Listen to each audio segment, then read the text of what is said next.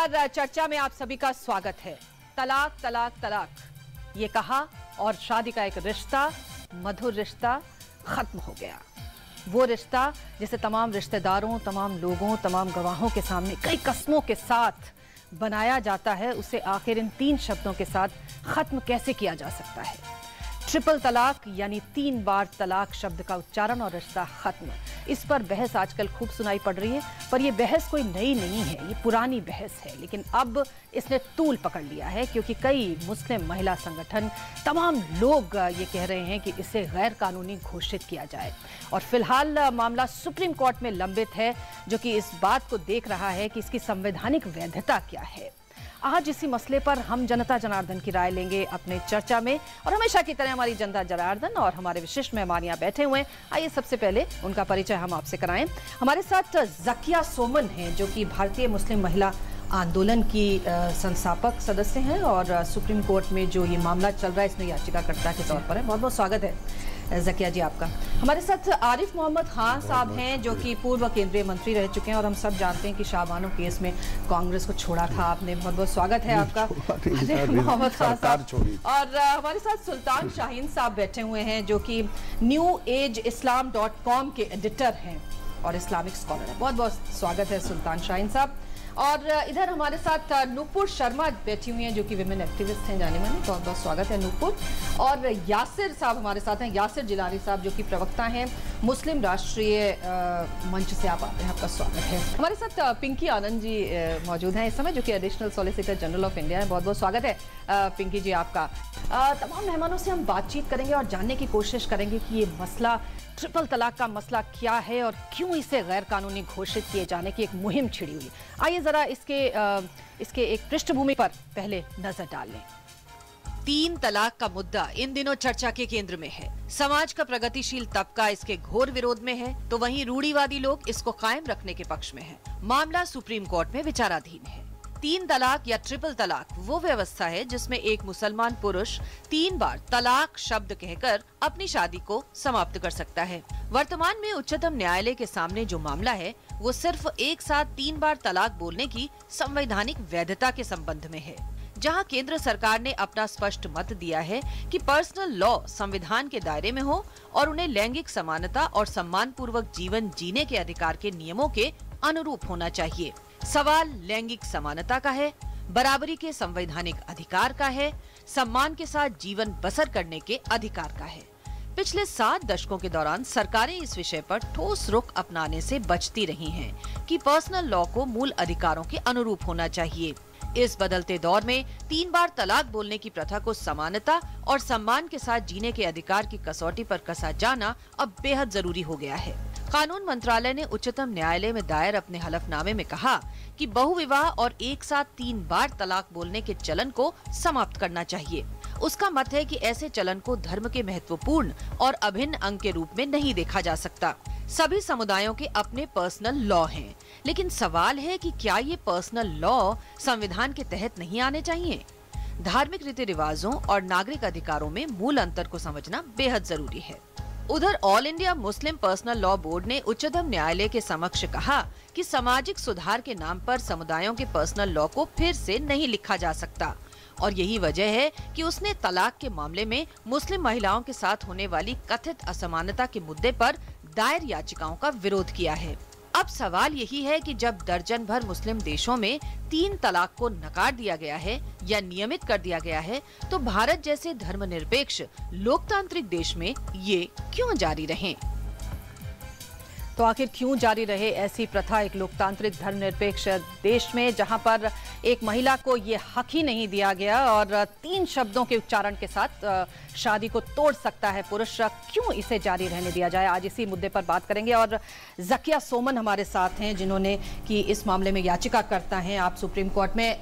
जकिया जी, ये बताइए कि क्यों ये जो चीज़ है आज तक चली आ रही है? मतलब हमने देखा है कि भारत में बाल विवाह था, हमने देखा सती प्रथा थी, वो सब चीज़ें ख़त्म हुई समय के साथ। हो सकता है कभी वो धर्म या आस्था का हिस्सा रही लेकिन आज के टाइम में ये मंजूर नहीं। लेकिन ये प्रथा आज भी चल रही है और आप उसके खिलाफ एक लंबी मुहिम छेड़े हुए हैं। किस प्रकार से देखते हैं और कहाँ पाते हैं आज अपने इस मुद्दे को आप?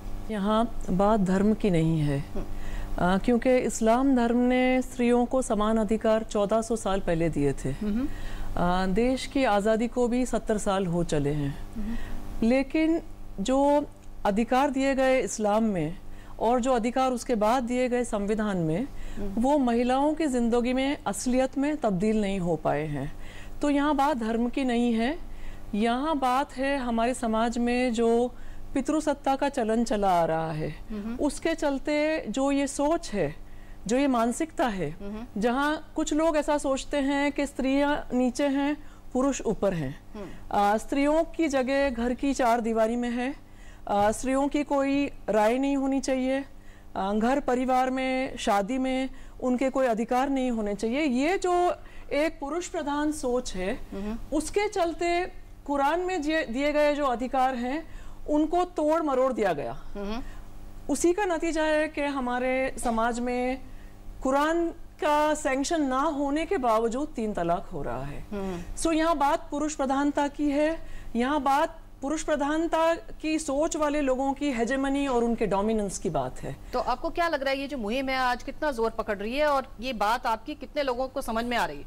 सबसे खूबसूरत बात यही है कि आज जो मुहिम चल रही है देश में पिछले कुछ सालों से चल रही है और आज जो एक उसने बहुत बड़ा स्वरूप या ब, ब, बहुत बड़ा ज़ोर पकड़ा है बहुत बड़ा स्वरूप उसका आज निकल के आया है। हम्म। ये देश की साधारण मुस्लिम महिलाओं की मुहिम है।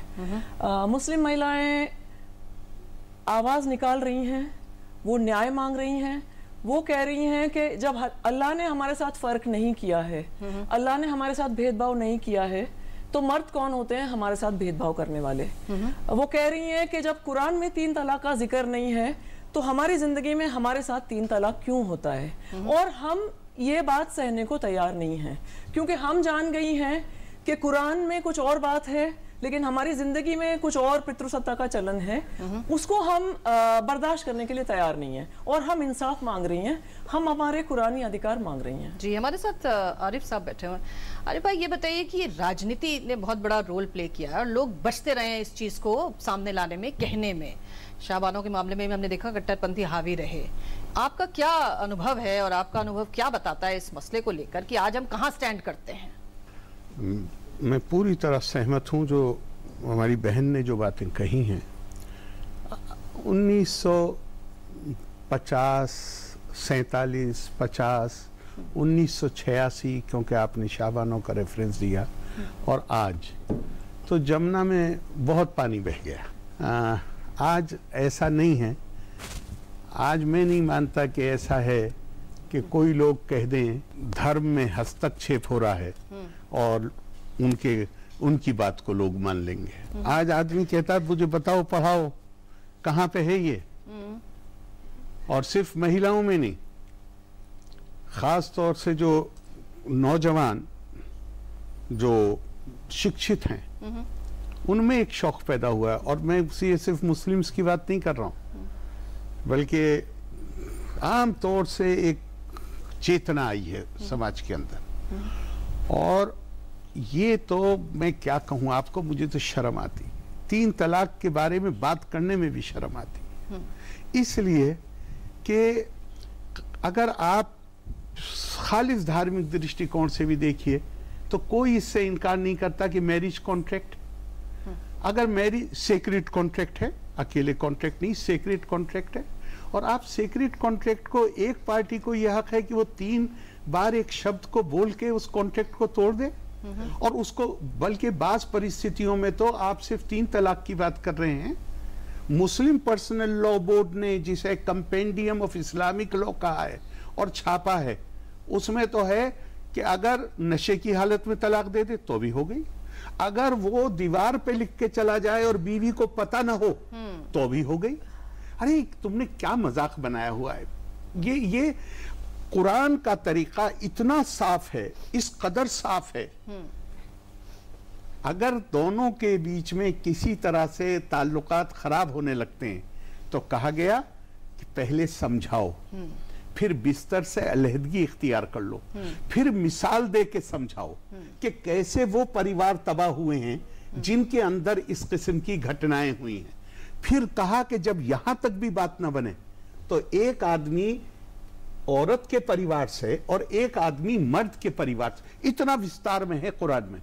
एक आदमी औरत के परिवार से और एक आदमी मर्द के परिवार से ये बैठे और दोनों के बीच में आर्बिट्रेट करने की कोशिश करें, उनको समझाने की कोशिश करें और इस मामले को ठीक करने।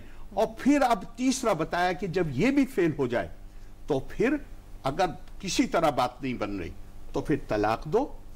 इद्दत के शुरू में तलाक दो। इद्दत तीन महीने है जिसे मॉडर्न लॉ में वेटिंग पीरियड हाँ, कहा जाएगा। इस वेटिंग पीरियड में दोनों को उसी तरह साथ रहना है जिस तरह पहले साथ रह रहे थे। और ये उन्हें वक्त है जहाँ वो अपने फैसले को रिव्यू कर सकते हैं। और साफ़ लिखा हुआ है इन्हें इनके घरों से ना निकालो ना इनके लिए मुनासिब है कि ये घर छोड़ के चली जाएँ। तुम नहीं जानते अल्लाह तुम्हारे लिए दोबारा मिलने की कोई राह पैदा कर दे। इस अब अगर तीन तलाक सही है तो कुरान की इतनी सारी आयतों को हमने शॉर्ट सर्किट कर दिया। और बड़ी खुद कहते हैं अपनी किताब में। खुद कह रहे हैं ये बिदत है। बिदत कहा जाता है अरबी में उस चीज़ को which is not part of the original scheme जो असली चीज़ का हिस्सा नहीं है। खुद कह रहे हैं ये ममनू है प्रोहिबिटेड है। लेकिन कह रहे हैं गुड इन लॉ ये कानूनी तौर पे स्वीकार्य है धर्म के तौर से ये गलत है। आप कोई चीज़ जो धर्म के तौर पे गलत है उसे धर्म के नाम पे उसको कैसे आप उसके उसको बचाने की कोशिश कर सकते हैं? जी।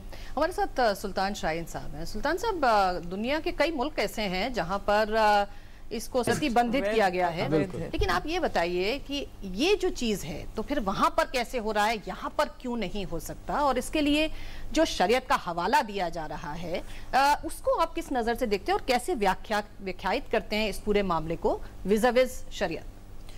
देखिए शरिया की बात तो आरिफ साहब ने जकिया साहबा ने बहुत तफसील से आपको बता दी। मैं ये देख रहा हूँ कि हिंदुस्तान की मुस्लिम कम्युनिटी आज़ादी से पहले वही कम्युनिटी थी जिसमें आज पाकिस्तान और बांग्लादेश भी शामिल हैं। वही स्कूल ऑफ़ थॉट थे वही देवबंद यहाँ भी है वहाँ भी है वही सारी जमातें हैं। पाकिस्तान ने भी इस लॉ को जो एक एंग्लो मोहम्मडन लॉ है अंग्रेज़ों का बुलाया हुआ कानून है उसको पाकिस्तान ने भी नहीं माना।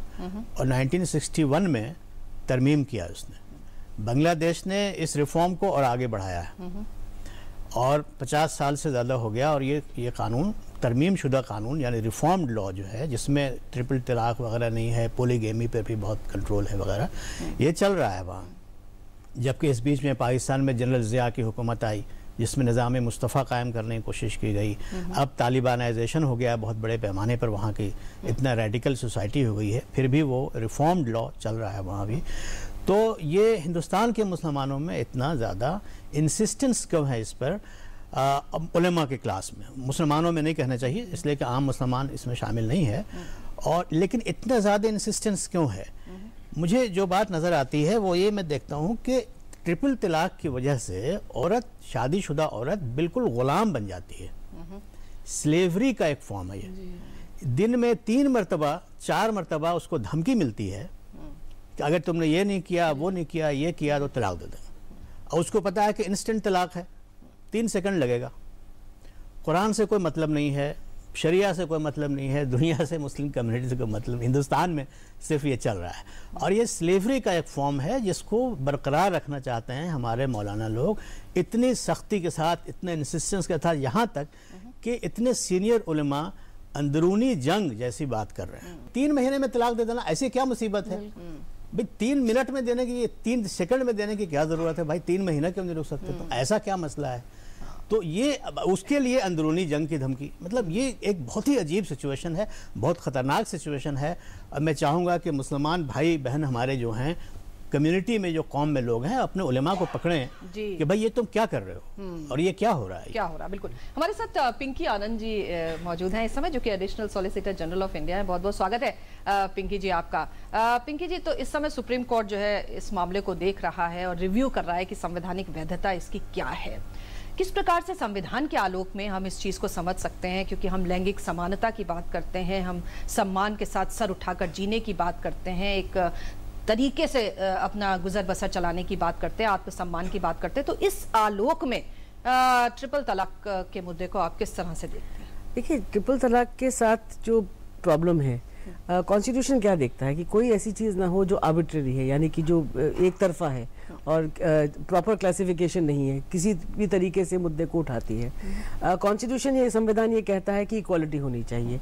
अ, मर्द और, प- और और नारी में दोनों में समानता होनी चाहिए। होनी चाहिए। वो हमारा कॉन्स्टिट्यूशन अगेन इसको सेव गार्ड करता है। हमारा फंडामेंटल ये राइट्स हैं।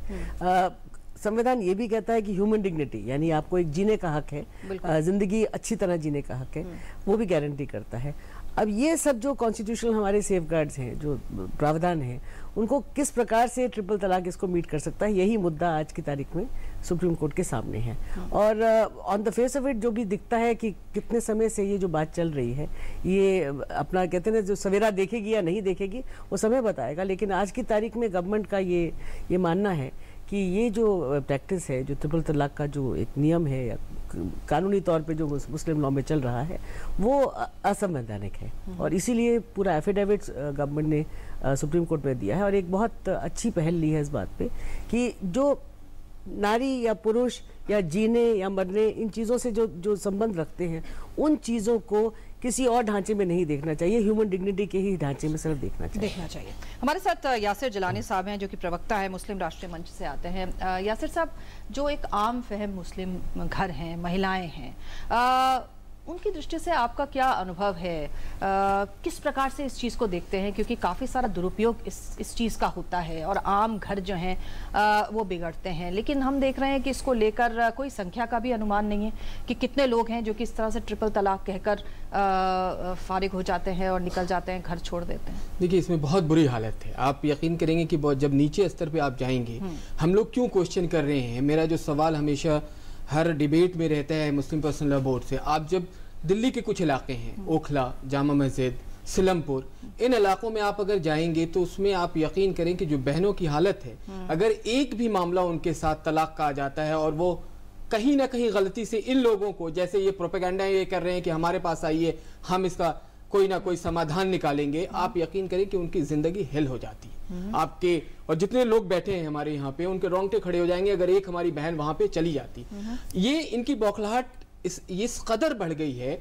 अभी जितने दिनों से ये सडनली जो चर्चा आया और लोग अब ये टारगेट कर रहे हैं हमारी सरकार को जो मौजूदा सरकार है उनका कहना है सरकार क्या कर रही है? लॉ कमीशन ने राय शुमारी के लिए एक आपको अपने वेबसाइट से लेके और तमाम जगहों पे उन्होंने एक इश्तेहार दिया कि आप आइए और उसमें हमारे जो भी अगर आपको पसंद है तो आप उसमें यस कीजिए नहीं पसंद है तो नो कीजिए। अच्छा इतने लंबे ऑब्जर्वेशन के बाद लॉ कमीशन आया। क्यों आया वो? क्योंकि जाकिया सुमन जैसी हमारी जो बहन है उन्होंने दरवाज़ा खटखटाया अदालत का निचली अदालत से लेकर माननीय उच्चतम न्यायालय तक ये केस पहुँचे। अब अब इनको लगता है कि कहीं ना कहीं क्योंकि हमारे अभी आरिफ साहब ने भी कहा है कि जो नौजवान है वो बिल्कुल इस्लाम को समझ रहा है। वो शरीयत को समझ रहा है वो शरिया कानून को जानने लगा है। तो इनकी बौखलाहट है कि हमारी दुकान बंद हो जाएगी, कहीं ना कहीं। और हम लोग क्या कह रहे हैं? हम कह रहे हैं कि आप एजुकेट कीजिए। आप कोशिश कीजिए कि जो हज़रत अबू बकर रज़ी अल्लाह अन्हु के जमाने में इस तलाक को लेके मामला आया था, वो बताइए ना इस्लाम को। जो हुजूर सल्लल्लाहु अलैहि वसल्लम की नबूवत मिलने से पहले और नबूवत मिलने के बाद की ज़िंदगी है, वो क्लियर बताइए। अवाम जो बैठी हुई है और आज की हमारी बहनें भी पढ़ी लिखी जो हमारी मुस्लिम बहनें हैं वो तमाम जो बड़ी यूनिवर्सिटीज हैं उसको रिप्रेजेंट कर रही हैं पॉलिटिकल सिस्टम में हैं मेडिकल सिस्टम में हैं हर जगह टॉप पे हैं। तो ये इनकी बौखलाहट है। हमारी इनसे बार बार रिक्वेस्ट है कि आप उनको एजुकेट कीजिए। एजुकेट नहीं करेंगे तो ये मामला और भी खराब होगा क्योंकि अब आपकी कोई बात नहीं मानने वाले। और मुस्लिम पर्सनल बोर्ड के बारे में बता दूँ कि वो संवैधानिक नहीं है।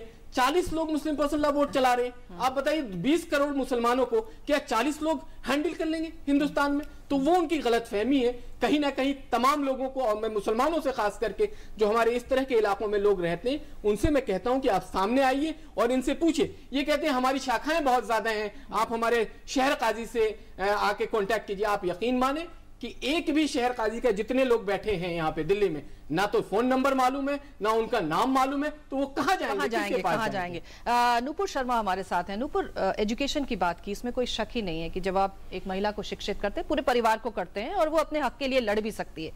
लेकिन हम जानते हैं कि अ, ऐसी मुस्लिम महिलाएँ भी हैं जो पढ़ी लिखी भी हैं संपन्न परिवारों से भी आती है लेकिन मुँह नहीं खोल पाती जबान नहीं खोल पाती और इसके खिलाफ उठ नहीं पाती। अ, आपने भी ऐसे बहुत सारे केसेस को देखा है क्या एक्सपीरियंस सबसे पहला उदाहरण तो मैं आपको खुद ही बता सकती हूँ कि जब सुप्रीम कोर्ट में जब सुन, इसी केस पे सुनवाई पे ये था कि पिटिशनर इन पर्सन आए जनवरी फरवरी की बात है।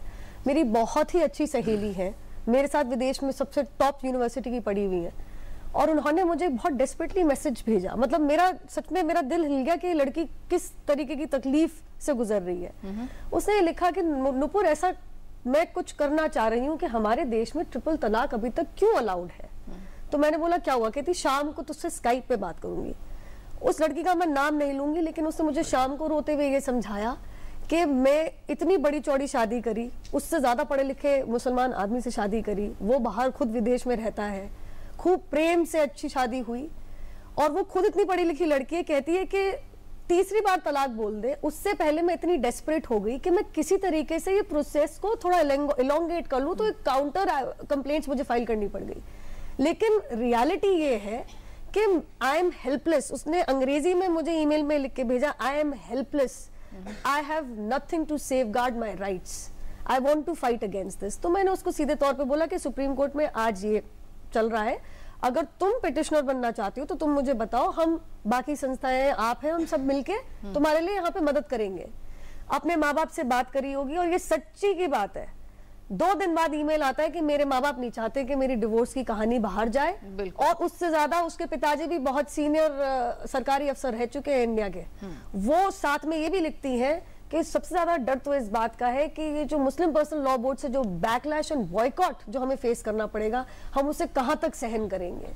तो अच्छे से मतलब मुझसे अच्छी पढ़ी लिखी लड़की बता सकती हूँ मैं आपको अच्छे से अच्छे घर की लड़की पढ़ी लिखी लड़की अपने आप को इतना हेल्पलेस महसूस करे मुझे यही समझ नहीं आता क्योंकि अगर आप कानून भी देखेंगे तो समानता तो मर्द और औरत की है तो सिर्फ़ एक ही सेक्शन की औरत की समानता कहाँ गई?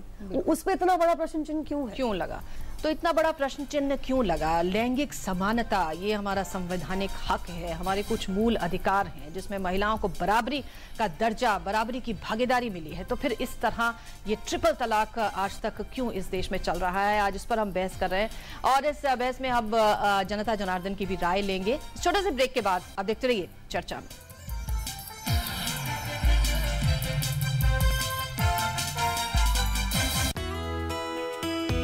बैंक खाते का नियमित इस्तेमाल अब बनाए ज़िंदगी खुशहाल। घर पर पैसे रखने की आदत को करो चेंज। बैंक में आपके पैसे रहेंगे सुरक्षित और जमा राशि पर आपको मिलेगा आकर्षक ब्याज भी। अपना मोबाइल नंबर पंजीकरण करना ना भूलें। खाते में आधार नंबर दर्ज करवा कर सरकारी सब्सिडी का लाभ सीधा अपने खाते में पाए। रुपए डेबिट कार्ड का इस्तेमाल एटीएम पीओएस और ई कॉमर्स हेतु करें। हर 90 दिनों में कम से कम एक बार अपना रुपए डेबिट कार्ड या आधार कार्ड द्वारा बैंक संचालन करने पर आपको मिलेगा एक लाख तक का दुर्घटना बीमा बिल्कुल मुफ़्त। बैंक खाते का कीजिए नियमित संचालन। इससे आपके जीवन में आएगी नई रौनक।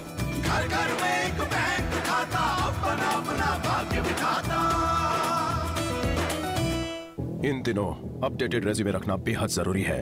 Yes mine Praful Kumar major Praful Kumar para special forces तीन साल हॉस्टाइल जोन में टफ था। जेएनके में स्पेशल सर्विस कुछ नए दोस्त बनाए कॉम्बैट फ्री फॉल स्पेशलिस्ट बलिदान के लिए तैयार। जैसा आप देख सकते हैं I wear my heart on my sleeve and my resume on my uniform which are the company let's you do that हम हैं भारत के सबसे एक्साइटिंग वर्क प्लेस और हम दे रहे हैं आपको एक ऑफ़र भारतीय सेना आम नहीं ये ज़िंदगी। आप समझ क्यों नहीं रहे? वो बहुत परेशान करते हैं मुझे। ड्रैगिंग के नाम पे टॉर्चर करते हैं। सीनियर्स रैगिंग नहीं करेंगे तो तुम स्मार्ट कैसे बनोगे? तुम्हारा कॉन्फिडेंस कैसे बढ़ेगा? Be a man I am sorry बेटा। आई एम रियली सॉरी आपके बच्चे की छोटी सी शिकायत किसी बड़ी मुसीबत का पैगाम हो सकती है। उसे नज़रअंदाज ना करें। Don't ignore take action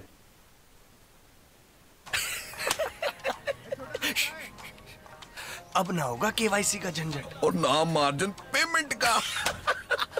sir आपका चाय। और भाभी जी कैसी हैं? हाँ मायके में है ठीक ही रहती है वो। और और और टैक्स भी नहीं देना पड़ेगा। और ना हमारा नाम कहीं पे आएगा। इसे कहते हैं डब्बा ट्रेडिंग। इसी को कहते हैं डब्बा डब्बा। गुल। क्योंकि ताली कभी एक हाथ से नहीं बजती इसलिए डब्बा ट्रेडिंग करना या करवाना दोनों ही कानूनन अपराध हैं। सिर्फ़ सेबी रिकग्नाइज्ड स्टॉक एक्सचेंज पे ही ट्रेडिंग कीजिए। सेबी हर इन्वेस्टर की ताकत। गरम पकौड़े रह गए थोड़े छोटा कोई काम नहीं जो लगन से करे वो पूरा।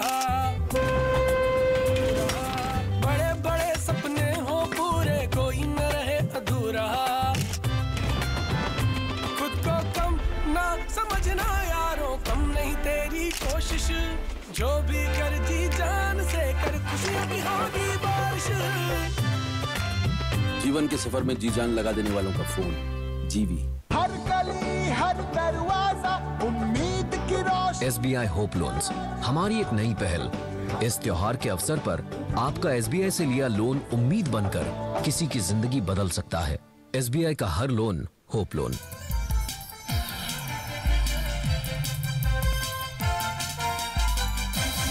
चर्चा में एक बार फिर से आपका स्वागत है। आज हम तीन तलाक पर चल रही तकरार के बारे में बात कर रहे हैं। ट्रिपल तलाक के बारे में बात कर रहे हैं, जो कि सुप्रीम कोर्ट में इस समय विचाराधीन है। सुप्रीम कोर्ट इस मामले पर विचार कर रहा है, इसकी संवैधानिक वैधता को लेकर विचार कर रहा है। जनता जनार्दन इस समय हमारे सामने बैठी आइए जरा उनसे बात करें कि वो इस बारे में क्या सोचते हैं। हमारे साथ में कुछ यहाँ पर यंग गर्ल्स भी बैठी हैं जो अपनी बात को रखेंगी। जी बताइए आप आप कैसे देखते हैं ट्रिपल तलाक मामले को? मेरे को एक चीज़ ये समझ में नहीं आती कि जितने भी विद्वान हैं या जितने भी धर्म से जुड़े हुए लोग हैं जब वो इस चीज़ को नहीं मान रहे कि कुरान शरीफ में ऐसी कुछ चीज़ है ही नहीं। हम जितने यंगस्टर्स हैं हम लोग मतलब बहुत ज़्यादा क्यूरियस रहते हैं कि हाँ ऐसा कुछ है नहीं है। हम सब इसके अगेंस्ट में तो फिर मुझे ये समझ में नहीं आ रहा है कि इस चीज़ पर एक्शन लेने में इतनी देर क्यों हो रही है? इतने सालों से ये मुद्दा चल रहा है फिर भी अभी तक कुछ क्यों नहीं हुआ। ओके हाँ जी बोलिए।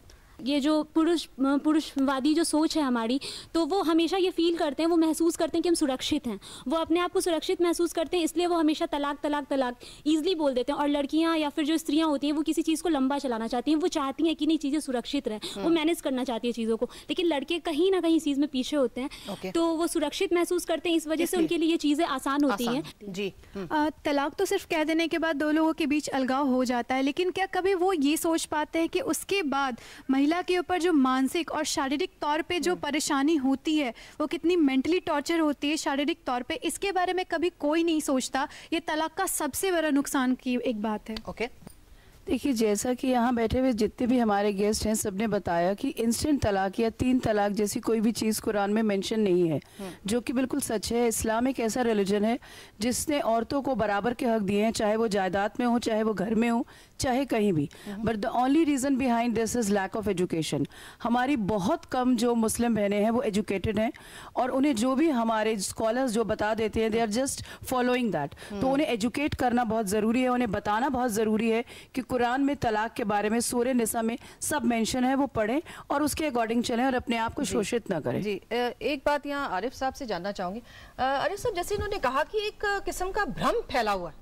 चीज़ें बिल्कुल साफ़ हैं लेकिन उसमें कुछ ऐसा फैलाया हुआ है कि वो इतना समय उसमें लग रहा है। तो लोग ये जानना चाहते हैं कि ये भ्रम फैलाने वाले कौन हैं और क्यों हम उन्हें सुरक्षित उनके व्यू पॉइंट को रखे हुए हैं आज तक? देखिए इससे पहले भी ये सवाल आपने दूसरी तरह पूछा था कि आखिरकार बावजूद इसके कि कुरान में इसके लिए कोई प्रावधान नहीं है हमारी बहन ने कहा एजुकेट करने की ज़रूरत है। हम्म। वो लोग तो अपने आप को आलिम कहते हैं कहते हैं हमारे पास एजुकेशन है। फिर वो इस पे क्यों ज़ोर लगा रहे हैं? वो इसलिए कर रहे हैं और ये भ्रम की कव की असल वजह यही है कि लॉ रिलीजन धर्म आपको सिखाता है। मानिए एक छोटी मोटी बात है कि ईमानदारी। मानिए किसी गरीब की मदद करना मानिए जेनरसिटी मानिए चैरिटी इसका पर्सनल लॉ बोर्ड से कोई मतलब नहीं है। काहे से मतलब है? लॉ कानून। क्यों? कानून के साथ कानून लागू करने वाली एक एजेंसी होती है। जैसे हमारे पुलिस है। जी, जी। पुलिस ही तो कानून लागू करती है। इकोनॉमिक कानून है तो उसके लिए अलग है वो भी पुलिस की तरह। है इन लोगों की दिलचस्पी धर्म में नहीं है दीन में नहीं है। ये अपने आप को कानून लागू करने की एजेंसी के तौर पे देखते हैं ताकि ये फतवे जो देते हैं उससे इन्हें ये ये एहसास पैदा होता है कि हम दूसरों की जिंदगियों को कंट्रोल कर सकते हैं। जी। ये और और हमारा जो पॉलिटिकल सिस्टम है वो पता नहीं क्यों इनसे डरता? है तो नतीजा ये है कि ये भ्रम फैलाने में कामयाब होते हैं। पॉलिटिकल सिस्टम इनसे डरता है एस्टेब्लिशमेंट उसके नतीजे में आम लोगों के अंदर एजुकेशन नहीं है वो बेचारे समझते हैं। कि ये जो कह रहे हैं ये सही होगा। वो भुगतते हैं। जकिया जी ये बताइए कि आपने कुछ सर्वेज भी कराए हैं? कई बार ये भी बात उठती है कि साहब कौन है इसके खिलाफ? आप ही बोल रहे हैं और तो कोई बोल नहीं रहा। ये भी एक एक बात है जो भ्रम की बात फैलाने वाली बात है। आपने कुछ सर्वेज भी कराए हैं? उसके बारे में आप हमें कुछ बताएँगी। भारतीय मुस्लिम महिला आंदोलन देश भर में फैली हुई मुस्लिम महिलाओं की एक ऑर्गेनाइजेशन है। और हम पॉलिटिकल नहीं हैं हम खुद मुस्लिम महिलाएँ हैं हमें लग रहा है कि हमें हमारे हालात में तब्दीली चाहिए। हमें हमारे कुरानिक राइट्स चाहिए हमारे हमारे हमें हमारे कॉन्स्टिट्यूशनल राइट्स भी चाहिए। इसलिए हम काम करते आए हैं पिछले दस साल से। अ, पिछले साल हमने जो सर्वे जो जिसकी फाइंडिंग्स हमने रिलीज़ की थी अ, वो सर्वे हमने देश के दस राज्यों में किया था।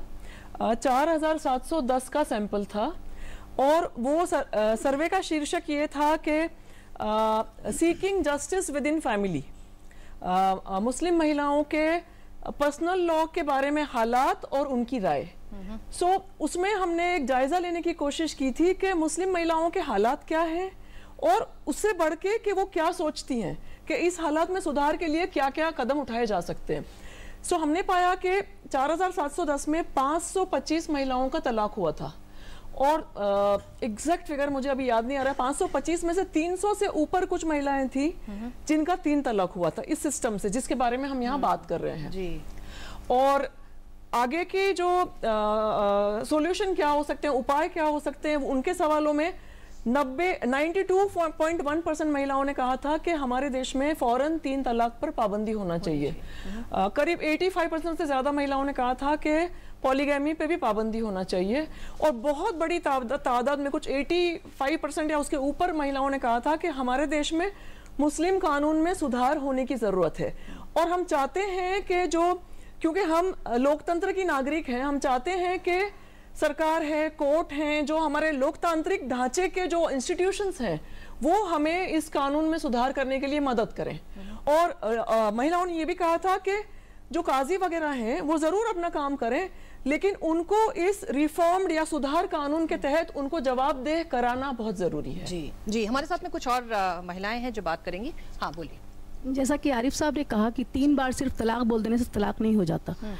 हमें पूरा टाइम दिया जाता है उस मर्द को पूरा टाइम दिया जाता है कि वो एक बार बोलकर आपस में सुलह कर ले ताकि ये आपस में उनकी साझेदारी बन जाए। तो तीन बार सिर्फ़ तलाक बोल देने से तलाक नहीं होता। ओके जी आप बोलिए। हम्म। मैम जकिया मैम जो जिस बात को हाईलाइट कर रही हैं कि जो मुस्लिम मुस्लिम कम्युनिटी में एक्चुअली ये एक फियर सा है, वो दोनों तरफ़ फंस गए कि रिलीजन क्या कह रहा है और हमारी गवर्नमेंट क्या कह रही है हमसे। एक फियर जो मुस्लिम कम्युनिटी में है वो ये है कि इस प्रैक्टिस में इंस्टेंट तलाक की प्रैक्टिस में सर्टेन वीकनेसेस हैं, हो भी सकती हैं, लेकिन उसमें रिफॉर्म लाना चाहिए। And that reform should come through the people of the community and from the scholars of the community if completely the government takes over there is a fear in the community that quoting this they will they, they may take away other free free practice of uh, practice of islam in other areas also this is the fear i don't know whether it is true or not but this is the fear या यासिर साहब community को अ, इसमें आगे आना चाहिए पर क्या आपको लगता है जिस तरह से आप बात करें कम्युनिटी तो आगे आ रही है बिल्कुल आ रही है। देखिए क्या है कि आ, फिर वही आप मुस्लिम पर्सनल बोर्ड पे जाइए। वो उन लोगों ने इस तरह से आपके माइंड में एक खौफ बना रखा है कि कोई भी निकल के अभी हमारी बहन नुपुर शर्मा ने कहा कि वो जो हमारी बहन है जिसके साथ प्रॉब्लम हुई वो बताना नहीं चाहती है कि कहीं हो सकता है हमारे जो लोग हैं वो उनके घर के लोगों के बारे में उनके दूसरे लोगों के बारे में उन्हें जानकारी हो तो वो कहीं ना कहीं उनके अंदर एक ऐसा लगता है कि नहीं हमारी जानकारी लोगों में और लोगों में नहीं जाए। और अभी जो हमारी बहनें कह रही हैं इसमें जो सरकार के साथ वाली बात हो रही थी सरकार तो आपके साथ है। सरकार ने कोई ऐसी बात अभी तक नहीं कही जिसमें कहीं भी कोई बात आ रही है वो तो कह रही है। बट आप फिर देखिए मुस्लिम फसला बोर्ड आपके सामने आ जाता है। तरह की बात करना कितना गलत है असंवैधानिक है कानून के खिलाफ है। तो इसमें भी आप लोगों को सामने आना होगा। जी हाँ बोलिए।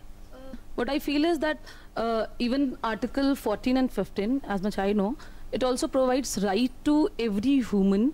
Okay, and it says that the state shall not uh, Discriminate. discriminate uh, humans on the basis of religion, caste, or any other uh, sex or uh, uh, any other kind of discrimination should not be practiced. So I think it has nothing to do with, with religion. religion. It's simply uh, the power play of uh, chauvinistic society. I mean, or uh, this you know ji. patriarchal society. जी बिल्कुल आपने कहा पुरुषवादी सोच यहाँ पर देखते हैं और पुरुष से ही बात कर लेते हैं ये जो पुरुषवादी सोच है उसके चलते ऐसी चीज़ें चल रही हैं और आप आस्था या धर्म का उसको एक जामा पहनाए हुए हैं बेसिकली ये पुरुष की सोच है ऐसी महिलाएँ कह रही हैं आज का जो यूथ है वो ये चाहता है कि चाहे वो कुरान हो चाहे गीता हो उससे पहले हम अपने कॉन्स्टिट्यूशन को वैल्यू दें। हमारे कॉन्स्टिट्यूशन में जैसा कि मेंशन है कि we should work for the oppressed class चाहे वुमेन्स हो चाहे एस टी हो या माइनॉरिटीज हो कोई भी हो। खास तौर पे जैसा अगर आप देखें तो मुस्लिम महिलाएँ हैं वही सबसे ज़्यादा पिछड़ी हुई हैं। तो अगर स्टेट या गवर्नमेंट या हमारा कॉन्स्टिट्यूशन कहता है कि उनके लिए आप कुछ काम करें तो अगर हो रहा है तो मेरे हिसाब से कि किसी भी रिलीजियस बॉडी खास तौर पे उस मुस्लिम पर्सनल लॉ बोर्ड में जिसमें 40 मेंबर हैं और सभी के सभी मर्द हैं उनको मेरे हिसाब से कोई हक नहीं होता ये पॉइंट उठाने का। ओके जी हाँ बोलिए। कौन बोलेगा? देखिए मेरा मानना है कि एजुकेशन या कुछ भी हो लेकिन उससे पहले एक औरत को मेंटली स्ट्रांग करना ज़रूरी है। उन्होंने कहा कि एक तलाक के बाद वो मेंटली टॉर्चर होती है। वो टॉर्चर क्यों होती है? क्योंकि उसे बचपन से सिखाया जाता है कि तुम्हारी एग्जिस्टेंस किसी आदमी से आई है चाहे वो तुम्हारा फादर है चाहे वो तुम्हारा हस्बैंड है। हस्बैंड चला गया तो इज़्ज़त चली गई। नहीं अगर एक औरत के माइंड में ये है तो ऑब्वियसली वो टॉर्चर होगी। अगर वो इंडिपेंडेंट है कि हाँ हस्बैंड नहीं है तो क्या? मेरी भी तो एग्जिस्टेंस है। तो वो इतना टॉर्चर या इतना कुछ इश्यूज़ के लिए नहीं होगा। ओके जी यहाँ पे कुछ लोग और बैठे हैं उनसे भी जरा पूछे।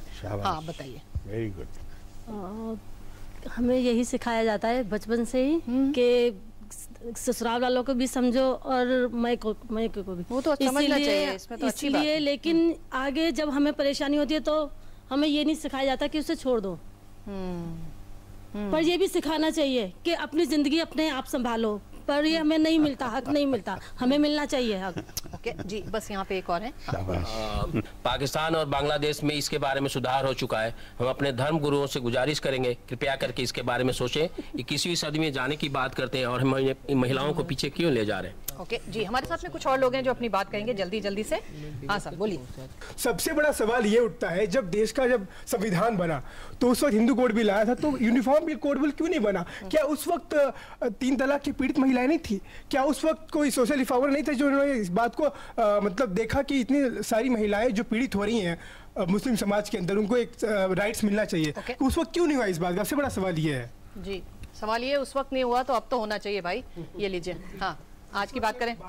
जी आज की बात करें। जी सर। समाज में जागरूकता की आवश्यकता है ताकि पुरुषों में मोरल लेवल इतना हाई हो ताकि वो जो है सो स्त्रियों को सम्मान दे सके उनको बराबर का अधिकार दे सके। धन्यवाद। हम्म, जी हाँ बोलिए। मैम मुस्लिम समाज की जो महिलाओं के बेहतरी के प्रयासों को धार्मिक रंग, रंग देना कितना उचित है मैम? हम्म, ओके हाँ बड़ा वाजिब सवाल है। और कौन बात करेगा? हाँ हाँ।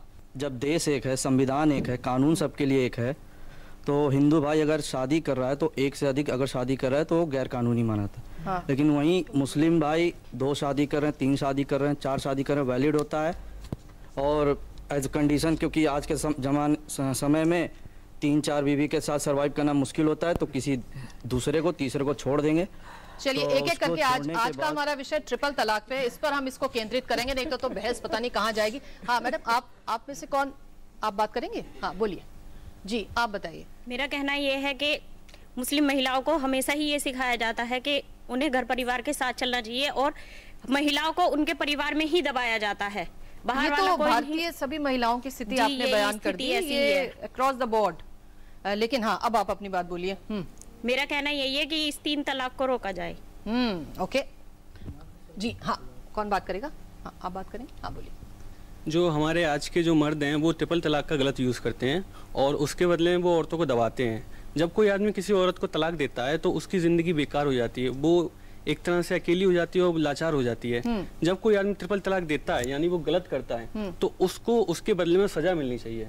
अच्छा ओके नुपुर कुछ कहना चाह रही थी। हमारे देश में संविधान में साफ़ लिखा है the law of the land will supersede personal laws. मतलब कि पर्सनल लॉज जो है है लेकिन जो लॉ ऑफ़ द लैंड है उसके ऊपर है। अब बिगमी एक इंडियन पीनल कोड मतलब क्रिमिनल कानूनी तौर से क्रिमिनल ऑफेंस है। कितनी मुस्लिम महिलाएँ बिगमी को लेकर कोर्ट जाती हैं सबसे पहला सवाल। और अगर वो नहीं जाती हैं तो क्या ये मान लेना ज़रूरी है और क्या ये मान लेना सही है कि उनको कोई प्रॉब्लम ही नहीं है कि उनको कभी भी उनका पति छोड़ के चला गया? ये धर्म की बात नहीं है। ये समानता की बात है। इसको धर्म में अगर मिलाना कम किया जाएगा तो शायद 50 प्रतिशत जो हमारे देश की जो पॉपुलेशन है हमारे अपने भले के लिए। मैं दोबारा दोहराऊँगी कि हमारे देश में पचास परसेंट पॉपुलेशन में कुछ महिलाओं के कुछ अपने अधिकार हैं और कुछ महिलाओं के कुछ और हैं क्योंकि कुछ धार्मिक गुरुओं ने सेल्फ प्रोक्लेम्ड जो अपने आप उन्होंने अप- वो इंटाइटलमेंट ले लिया है कि हम डिसाइड करेंगे आप अपनी ज़िंदगी कैसे एजेंट्स जो बन गए हैं। क्या Agency. कैसे करेंगे वो कैसे डिसाइड कर सकते हैं? और क्योंकि वो कोर्ट नहीं जा रही है तो ये मान लेना भी सही नहीं होगा। कि वो खुश हैं जी अपनी हालात पे। जी अ, तो हमने देखा महिलाओं के व्यूज़ को भी हमने सुना और हम तो कहते हैं आधा आसमान हमारा है आधी धरती हमारी है। अ, लेकिन ये जो सिनारियो नज़र आ रहा है उसमें लगता नहीं है कि ऐसा है। महिलाओं को कैसे हम सशक्त करें कैसे उन्हें समान हक दिलवाएँ और कैसे सम्मान की ज़िंदगी जिलाएँ ये सबसे बड़ी आज की प्राथमिकता हमारी है और होनी चाहिए। छोटा सा ब्रेक लेते हैं तुरंत हाजिर होते हैं आप देखते रहिए हमारी विशेष चर्चा।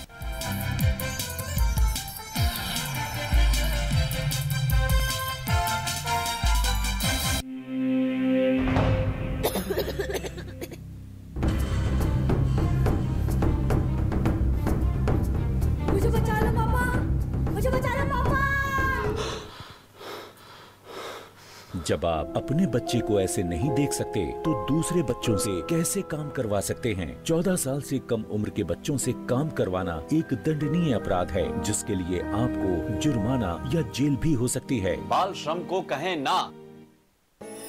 उत्तर प्रदेश के करोड़ों लोगों के चेहरे पर मुस्कान लाने की ज़िम्मेदारी जिन कंधों पर है वो कंधे हैं अखिलेश जी के। जिनके प्रयास से सबको साथ लेकर हर समाज, हर वर्ग, हर तबके के लिए योजनाओं की शुरुआत हुई है। निशुल्क मेडिकल एंड हेल्थ सर्विस योजना भी अखिलेश जी की सोच का परिणाम है।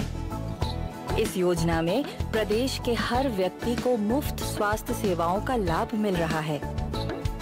उत्तर प्रदेश में अब कोई चिकित्सा सेवा से वंचित नहीं होगा।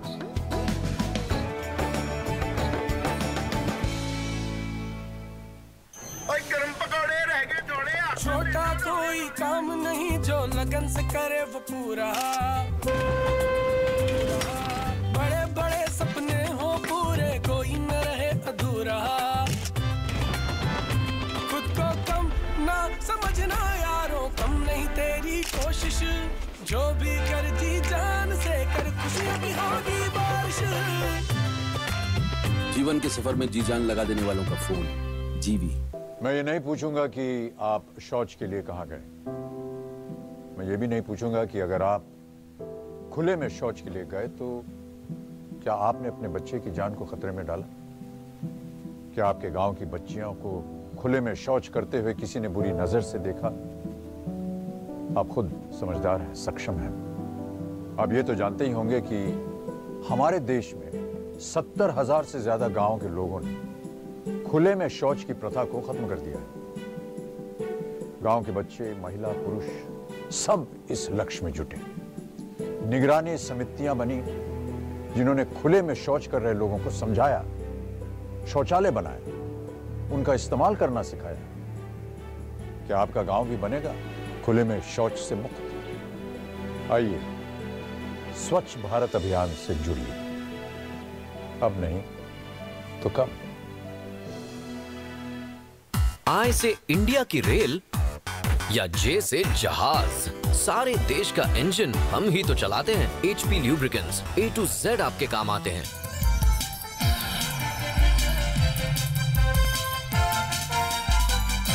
तीन तलाक का मामला इस समय देश में गरमाया हुआ है। विचार विमर्श इस पर चल रहा है। बहस मुबाहिसे चल रहे हैं। और औरतें कह रही हैं कि हमें हमारा हक चाहिए, हमें ये नाइंसाफ़ी अब मंजूर नहीं है। फाइनल कमेंट्स लेंगे, आगे की दिशा क्या कुछ होनी चाहिए? पिंकी जी, अभी जो हम बात कर रहे थे लोगों से तो लोग ये भी कह रहे थे कि साहब, जो महिलाओं का आत्मसम्मान है या उनको समानता से जीने का हक या संविधान की बात, जैसे कि नूपुर कह रही थी वो कहीं पीछे रख देते हैं और किस एक मुलम्मा चढ़ाकर एक कवर देकर बातों को सही साबित करके और उसे चलाए रखने की जो ये तरीका है इससे हम इसे संविधान किस प्रकार से देखता है और ज़ाहिर है कि ये नहीं होना चाहिए। देखिए संविधान हमेशा वही था उसको देखने का जो तरीका था वो गलत था। आज की तारीख में वो जो कहते हैं ना एक पर्दा था वो हट गया है पर्दा सारा सामने साफ़ हो गया है और इस प्रकार से अगर आप देखेंगे तो समय समय पर कितने बदलाव हमारे समाज में आए हैं। सती की प्रथा थी। कहा जाता था कि ये सही है अ, समाज इसको मानता है मान्यता देता है तो बाल विवाह। महिलाएँ जलती थी और बाल विवाह जो होता है चाइल्ड मैरिज थी। उसके अलावा हिंदू धर्म में भी जैसे था पहले एक से ज़्यादा महिला से आप शादी कर सकते थे। वो तो 1956 में जो कोड आया उसके बाद आपने एक सिंगल महिला के साथ जो शादी की बात है वो करी। हिंदू सक्सेशन एक्ट में पहले महिला कर्ता नहीं हो सकती थी। यानी कि जो हिंदू अनडिवाइडेड फैमिली है उसमें ना उसका कोई भागीदारी थी ना उसकी वो कर्ता हो सकती थी। तो समय समय बदलाव जो आता है वो जब समाज की सोच इस प्रकार से आगे बढ़ती है कि जो ठेकेदार है या कोई भी लोग हैं जो किसी चीज़ का गलत इस्तेमाल कर रहे हैं उसको किस प्रकार से सही रास्ते पर लाया जाए जो संविधान है हमारा हमेशा प्रोग्रेसिव रहा है उसको इम्प्लीमेंटेशन का जो ढंग है आज मेरी उम्मीद ये है कि सुप्रीम कोर्ट के आगे मामला है गवर्नमेंट का भी बहुत प्रोग्रेसिव स्टैंड सामने धर्म छोड़ दीजिए सब कुछ छोड़ दीजिए कोई चीज़ गलत नहीं होनी चाहिए। आज के इक्कीसवीं सदी में सही प्रकार से महिलाओं के ऊपर शोषण नहीं होना चाहिए। उन्हें किसी तरह से लाचार नहीं करना चाहिए। एक सिंगल माइंडेड डायरेक्शन नहीं होना चाहिए। उन्हें आगे बढ़ने का मौका मिलना चाहिए। ये सब सोचते हो और, और महिला को मुझे सबसे अच्छी इनकी बात लगी कि लाचार महिला को ना समझे। महिला को अपने आप में सशक्त होने की जो बात है वो आगे हो। इसी बात को सोच लेकर ये सब चीज़ें आज हमारे सामने पर पिंकी जी ये बात बहुत मतलब क्लैरिटी के साथ कहनी पड़ेगी कि आस्था के नाम पर हम ऐसी विचारों को आगे नहीं बढ़ा सकते। जो कि किसी भी सूरत में महिला के साथ नाइंसाफी करते हो ये भी तो एक बहुत बड़ी बात है। बिल्कुल है तभी आप देखेंगे अभी हाजी अली में कोर्ट के डायरेक्शन आए तो महिला को अंदर जाने की जो बात थी अनुमति दी गई। शनि मंदिर के साथ हुआ वहाँ भी महिलाओं को नहीं जाने दिया जाता था वहाँ जाने की अनुमति मिली। अब यही बात है जो करेक्शन सिस्टम हो सिस्टम गलत चलते हैं उसको सही प्रकार से किस प्रकार से लाया जाए आज की जो सरकार है आज की जो गवर्नमेंट है आज का जो समाज है आज के समाज में आज पूरे प्रोग्राम में देख लीजिए सब कोई लोग जो है वो एक बात का समर्थन कर रहे हैं कि किस प्रकार से जल्दी से जल्दी ये रेक्टिफिकेशन कह लीजिए और कॉन्स्टिट्यूशनल जो वैलिडिटी है वो वापस समाज जी। यासिर साहब खास तौर से जो प्रोग्रेसिव विचार है जो प्रगतिशील थिंकिंग है अ, वो किस प्रकार से आगे आए सामने आए और सर चढ़कर बोले इसकी एक बहुत बड़ी ज़रूरत है और ज़ाहिर है उसका जो जिम्मा है वो कम्युनिटी पर जाता है बिल्कुल तो हम लोग बीच में लोगों के बीच जाके अपनी बात को रख रहे हैं और उनसे यही कह रहे हैं कि जब से देश आज़ाद हुआ सैंतालीस के बाद क्योंकि ये भारत का हिस्सा अ, था और भी सारी जगह अखंड भारत की बात करते हुए हम लोग तमाम लोगों को अपील कर रहे हैं कि आप मुस्लिम फसला बोर्ड के भड़कावे में ना आए, आप हिंदुस्तान के कानून पे यकीन करें, आपके साथ है और आप कहीं भी, मैं अपनी बहनों से भी अपील करूँगा कि वो कहीं कमज़ोर नहीं है, अगर कमज़ोर हैं तो हम लोगों से राब्ता करें हम उनके साथ हैं। कंधे से कंधा मिला के उनके साथ हैं और कई जगह पे काम भी कर रहे हैं। हम मेरी सिर्फ़ यही अपील। और हमारी जो बहनों ने अभी बात कही है मैं इन सबके जज्बों को सलाम करता हूँ कि आज इन्होंने दिखा दी और आप देखिए कि हमारे जितने भी पैनलिस्ट बैठे हैं सब पॉजिटिव वे में और एक तरफ़ की बात कर रहे हैं तो आज यहाँ से सवाल शुरुआत ये है कि जो ठेकेदारियाँ ले रखी हैं जो ठेकेदारियाँ ले रखी हैं उनका कैसे उनकी दुकान बंद होने जा रही है। आने वाले वक्त में उनकी दुकान नहीं चलेगी। आप यकीन करें। और सरकार अभी मैडम ने कहा है कि सरकार भी बहुत ज़बरदस्त दिशा में काम कर रही है और आपकी दुकान बंद करके रखेगी। ये मैं मुस्लिम पसला बोर्ड के तमाम उन लोगों को कह रहा हूँ जो अपनी दुकानें उन्होंने खोली हुई है या तो वो सही रास्ते पे आ जाए। सही तरीके से एजुकेट कर दें लोगों को समझ में आ जाए ये तो आपको बैंड करना ही होगा। जी बिल्कुल। जिस तरह से हमने देखा ऑडियंस में भी देखा और जिस तरह से तमाम मतलब अक्रॉस द बोर्ड लोग इस पे बात कर रहे हैं और महिला संगठन खास तौर पर इस पे काफ़ी आगे आ रहे हैं। आप कैसे देखते हैं इस लड़ाई को? किस प्रकार से आगे ले जाया जाता देखिए मैं इनकी बात से बात इनकी आगे करूँगी कि ये जो जो धर्म के जो ठेकेदार बन के बैठे इनको बनाया किसने?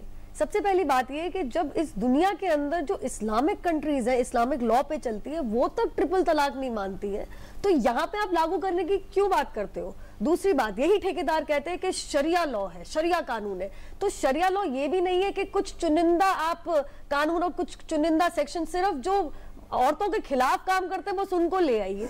ये क्या मतलब हुआ? ये तो सार मैं आप इनकी बात से बिल्कुल सहमत हूँ। ये पेट्रियार्कल माइंडसेट है जो सिर्फ़ वो चीज़ें जो औरतों को थोड़ा पीड़ित कर दे या परेशान कर दे वो मान लो। लेकिन जहाँ आदमियों को परेशानी हो जाए वो आप शरिया लॉ की चीज़ें मानो मत। तो ये कौन लोग हैं? इनको किसने सबसे बड़ा सवाल यही है और ये सब सही कह रहे हैं। सब आज एक ही प्लेटफॉर्म पे, एक वेवलेंथ पे बात कर रहे हैं कि जहाँ पे गलत हो रहा है और खास तौर से दिख रहा है कि सिर्फ़ महिलाओं को परेशान करने के लिए गलत हो रहा है, उस चीज़ के लिए तो जो सुप्रीम कोर्ट में अभी जो आपने याचिका पेश करी, जो चल रही है हियरिंग उसमें तो मेरे ख्याल से बिल्कुल सही बात है, क्योंकि औरतों को इस देश ने बिल्कुल समान माना है मर्दों के। बस यही हमारी घोड़े की नाल की तरह एक फोकस होना चाहिए यही बात है और यही होना चाहिए। जी। सुल्तान शाही साहब फाइनल कमेंट्स में आप क्या कहना चाहेंगे? और खास तौर पे जो भ्रम की बात जिसकी हम पहले भी कर रहे थे उससे किस तरह से उस जाले को कैसे हटाया जाए इसके लिए कोई उदाहरण देकर आप समझाएँगे क्या? देखिए एक बात मैं चाहता हूँ कि चर्चा में लाऊं जो अभी तक नहीं आई है। वो ये कि ट्रिपल तलाक बैन किया जाना चाहिए टोटली इंस्टेंट तलाक जो है बिल्कुल किसी किस्म का कोई उसका शरीयत में जवाज़ नहीं है कुछ नहीं है लेकिन मौलाना लोग जो इतना ज़्यादा इंसिस्ट कर रहे हैं उस पर एक तो आपको मैंने वजह बताई कि ये बिल्कुल औरतों को स्लेवरी की सिचुएशन में ला देता है।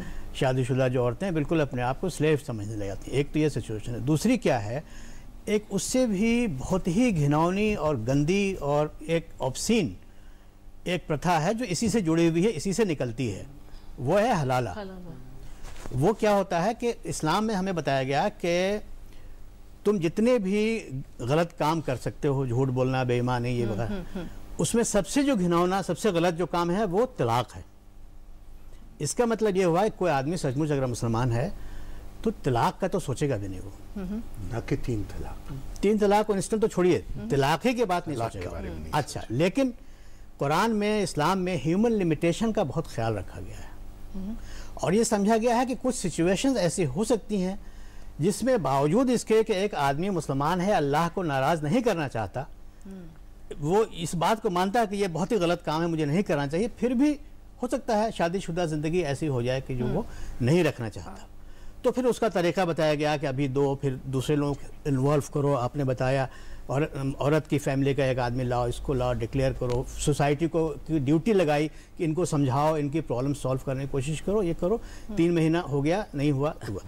आज उसके बाद तलाक को सबसे मुश्किल ये कहा गया उसमें कि ये अगर तीन महीने के बाद तुमने तलाक दे दिया फाइनल तीसरा तलाक तो फिर दोबारा शादी नहीं कर सकते। अच्छा। ठीक है? उसमें एक एक्सेप्शन ये बनाया कि अब इसके बाद औरत फिर कहीं शादी कर ले। फिर दो चार साल दस साल बीस साल में उसका हस्बैंड मर जाए या तलाक हो जाए या कुछ ऐसे सिचुएशन हो जाए तब फिर कर सकते हो। ये सिचुएशन है। अब मौलाना लोगों ने क्या कर दिया है कि अगर तुमने गुस्से में तलाक दे दिया दाल में नमक नहीं तुम कहा तलाक तलाक तलाक।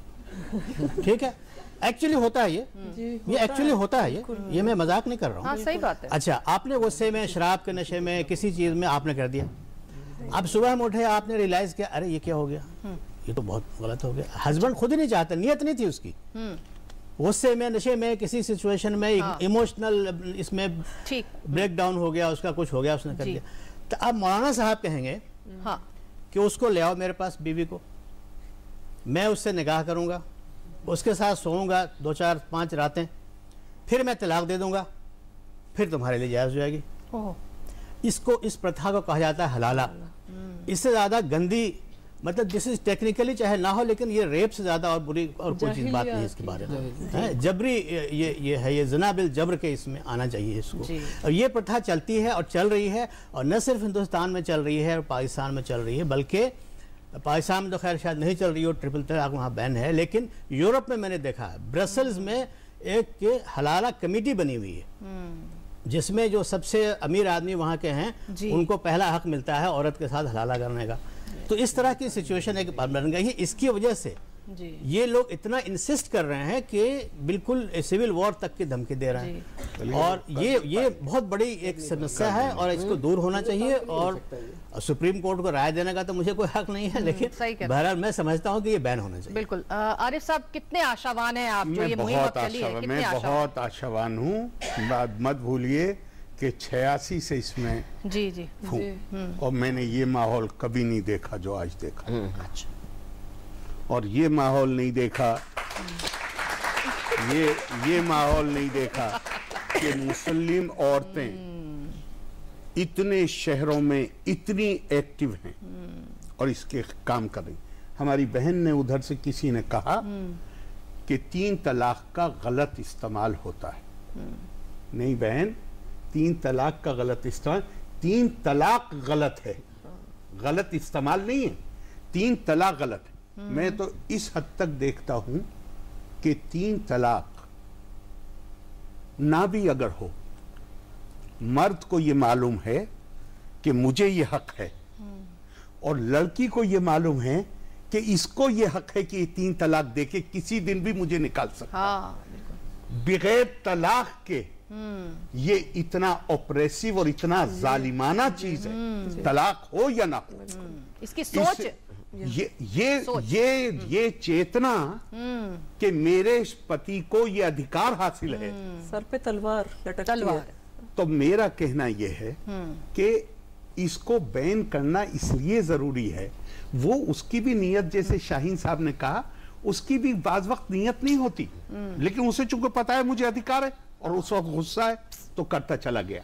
तो इसलिए तीन तलाक को जब तक कानूनी तौर पे और ये सब बात नहीं है रेगुलेट किया है। ये सऊदी अरब की छपी हुई किताब है। इसमें जो लफ्ज इस्तेमाल किए गए हैं सारे मुस्लिम मुल्कों के साल भी दिए हुए हैं। मिस्र ने उन्नीस सौ उनतीस में तीन तलाक को बैन किया है। उन्नीस सौ उनतीस। उनतीस। सूडान ने 1935 जॉर्डन ने उन्नीस सौ इक्यावन सीरिया और इराक ने 1955 मोरक्को ने उन्नीस सौ अट्ठावन और पाकिस्तान ने, ने जिसमें बांग्लादेश शामिल है 1961 सबने इसको ये नहीं किया ये ये ये लोग कंफ्यूजन करते हैं कि रेगुलेट किया नहीं बैन किया। लेकिन इसमें एक आखिरी बात मैं कहना चाहता हूँ पाकिस्तान का तजर्बा ये बताता है कि बैन होने के बावजूद फतवा दे दिया जाता है। कानून मना कर रहा है लेकिन मजहबी एतबार से ये हो गई। अब बेपढ़े लिखे लोग उसे मान लेते हैं। इसलिए पाकिस्तान में भी ये मांग आई है कि तीन तलाक देने वाले को कम से कम तीन साल के लिए जेल भेजो। आप एक बार जेल भेज दीजिए एक आदमी को तीन तलाक देने वाले को फिर कोई तीन तलाक नहीं देगा तीन महीने इंतज़ार करेगा जो कुरान का तरीका है और उस तीन महीने में उसे अपने फैसले को बदलने का हक होगा। प्रॉफिट ने जाकिया साहबा प्रॉफिट ने कोड़े लगवाए थे। हज़रत उमर ने। हज़रत उमर- ने- कोड़े लगवाए हैं। चालीस चालीस कोड़े उस आदमी के लगवाते थे। हुजूर सल्लम का तो ये मैं बता दूँ आपको ये बहुत दिलचस्प है। वो तो कोड़े लगवाते थे तीन तलाक देने वाले को। लेकिन हुजूर सल्लम को एक मौके पे पता चलता है फला शख्स ने तलाक दी। का आप फ़ौरन वापस लो ये तलाक नहीं होती। दूसरे मामले में उन्हें पता चला कि तीन तलाक दी गई है तो उन्होंने गुस्से में उठ के खड़े हो गए अपनी चादर डाल के और कहा मैं अभी ज़िंदा हूँ और तुम किताब के साथ खिलवाड़ कर रहे बेशक बेशक। जाकिया जी फाइनल कमेंट में आप क्या कहना चाहेंगे और किस प्रकार से जैसे अभी आरिफ भाई कह रहे थे कि वो बेहद आशावान है। आप कितनी आशावान है और किस तरह की मैं चुनौती की वजह से तो आशावान किस तरह की चुनौती आप देखती हैं? नहीं मैं मैं भी बहुत मैं नहीं, मैं भी बहुत कॉन्फिडेंट हूँ। हम हम सारी महिलाएँ बहुत कॉन्फिडेंट हैं कि हमें इंसाफ मिलेगा। क्योंकि हमारी बात में दम है सच्चाई हमारी तरफ़ है। जो जस्टिस के जितने भी प्रिंसिपल्स हैं कुरानिकली बात करें या कॉन्स्टिट्यूशनली बात करें दोनों पैमानों पे हम खड़े हैं। और पर्सनल लॉ बोर्ड और उस तरह की जो जो भी इदारे हैं वो बिल्कुल हमारा प्रतिनिधित्व नहीं करते हैं। यहाँ एक हमारी बहन ने कहा कि बहुत सही बात कही कि ये आवाज़ कौम के अंदर से आनी चाहिए। तो मैं यहाँ ये कहना चाहती हूँ कि क्या हम औरतें कौम के कौम का हिस्सा नहीं है? औरतों की आवाज़ भी कौम के अंदर की आवाज़ है। जब वो ऐसा कहते हैं कि कौम के अंदर से आवाज़ आनी- आनी चाहिए तो वो कौम की भी डेफिनेशन बदल देते हैं। जाने यानी कि सिर्फ़ दाढ़ी टोपी वाले मर्द ही सिर्फ़ कौम है क्या औरतें कौम नहीं है? सो आधी आबादी आधी आधी आबादी खुल के डिमांड करी है कि तीन तलाक पे पाबंदी लगे। बहुत और बहुत सारे मर्द हैं बहुत सारे 60 70 परसेंट मर्द हैं जो हमें सपोर्ट कर रहे हैं। और ये मामला अब बदल के ही रहेगा हमें इंसाफ मिलेगा। चलिए तो आप कह रही हैं कि मामला बिल्कुल बदल कर रहेगा और बदलना भी चाहिए और औरतों के लिए जो जेंडर इक्वालिटी की हम बात करते हैं ज़ाहिर है वो सच है और उसे सच होना भी चाहिए। और ज़ाहिर है दुनिया के लिए भी एक सकारात्मक संदेश जाता है अगर भारत में ये होता है। हम इतने बड़े लोकतांत्रिक और धर्मनिरपेक्ष देश हैं तो जैसे जाकिया उम्मीद बंधा रही है हम सब इस उम्मीद पर चलेंगे। फ़िलहाल के लिए इतना ही। अगले हफ़्ते एक नए विषय के साथ आपसे मुलाकात करेंगे। तब तक लिए इजाज़त दीजिए। नमस्कार।